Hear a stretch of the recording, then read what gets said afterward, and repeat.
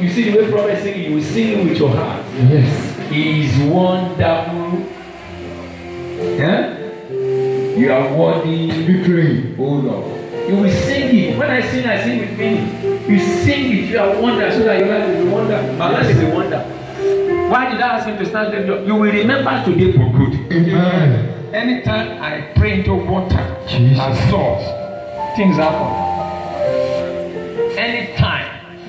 It's on YouTube, it's on Facebook. Anytime. I do this. Jesus. It's my covenant instrument. My covenant. Lift it up very well. Pentecostal. Miracles.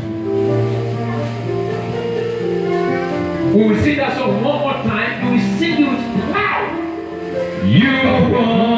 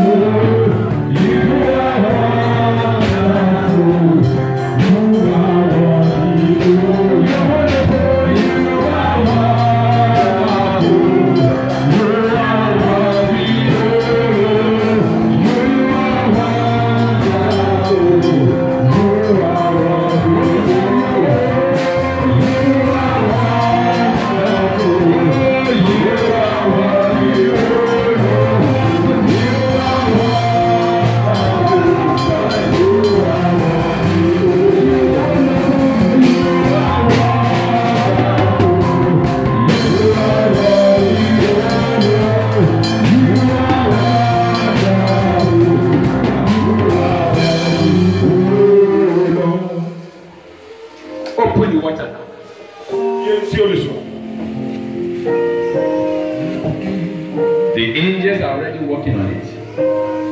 Open it and leave it. on.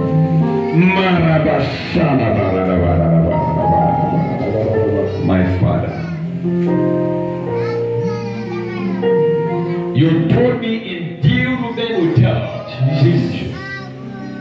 2006. You say, anytime there's an affliction, and I pray into water and salt, you said to me, you will answer me. Again, you said, anytime I serve the communion, Jesus. you said again, the blood will speak. Jesus. Again, you said, anytime I lay hand by the anointing, Jesus. you said you will honor me. Amen. You gave me water and salt as an instrument of deliverance. Jesus. You instructed me. And in obedience to this instruction, Jesus. I'm praying upon every water, Amen. every water that is lifted up here, Jesus. that are there sicknesses or infirmity or Mm. trouble in the life of these people, Jesus. maritally, financially, socially, academically, health-wise, whatever is called afflictions in their life, trouble at home, trouble in businesses, Jesus. anywhere this water enter, Jesus.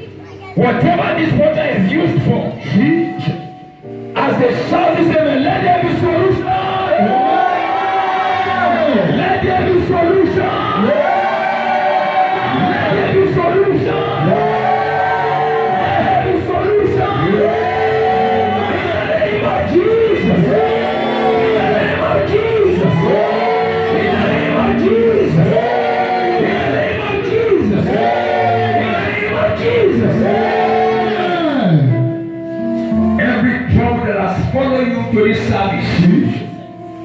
As you are going out of this service, I command those trouble not to follow you anymore.